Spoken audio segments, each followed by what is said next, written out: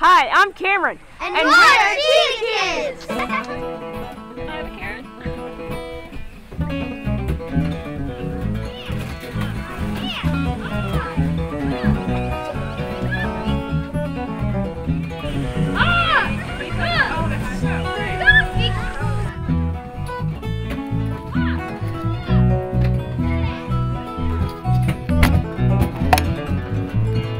Whoa, you guys feel how heavy that is?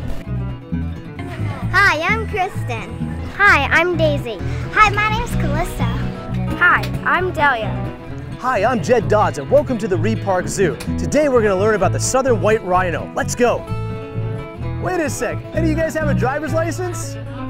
No, let's go, come on, get out of there.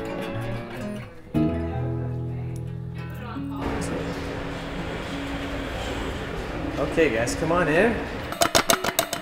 All right guys, so these are our two rhinos and we have one boy and one girl. This boy coming up right here, he is, his name is Zabulu. Zabulu is 38 years old right now and he's weighing about 4,500 pounds. That's a big rhino, huh?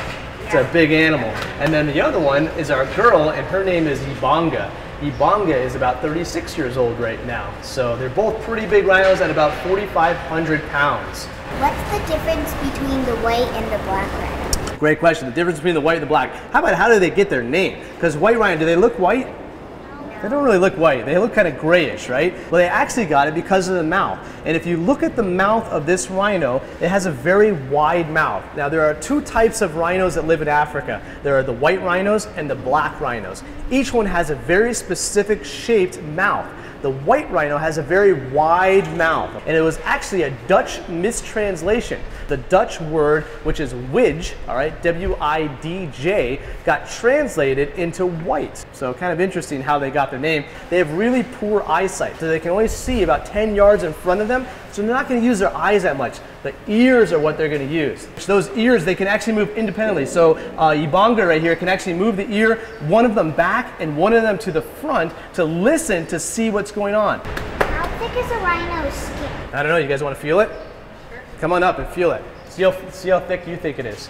All right, just make sure you don't get your hand in between the bar and the body. But you guys can touch her on there. All right, pat her down.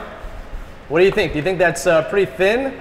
No, it's thick. It's thick, right? But you guys are touching this. What's coming off of the rhino? Mud. Mud. Why does why would a rhino have mud on him? Do you think we put mud on him? No. Why do you think a rhino has mud on him? Yeah.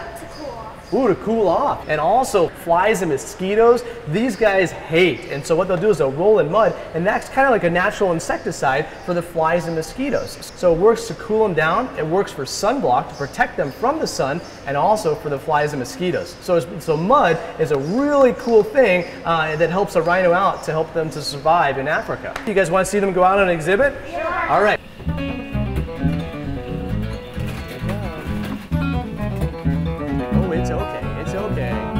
One of the main reasons why rhinos are have gone endangered is because of poaching, and it's because of this horn. This is uh, the female's horn. This is Ibanga's horn, and it actually fell off. Okay, so you can see that big old horn right there that attached right there, and it fell off because she got it caught on something and she twisted and it popped right off. Now it hurt her a little bit, but she's okay. You can see she's okay. She's already healing. She's already starting to grow another horn. But what it does is it gives us a good example of what a horn looks like. You guys want to hold that? A couple of you guys all together hold it because it's pretty heavy.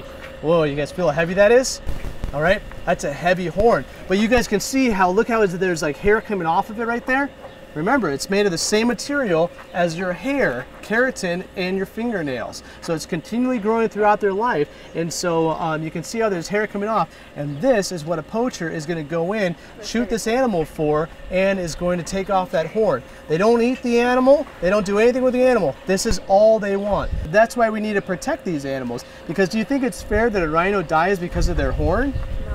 That's not really fair, right? Each one of our animals in a zoo is an ambassador for its species, for its counterpart in the wild that doesn't have a voice. You guys, by coming in and getting up close to these animals, you're having an experience. You each laid your hand on a 5,000 pound rhino. Not a lot of kids get to tell that story of coming up and working with these animals. That's a cool connection that your job now is to go out and to tell the story of these animals.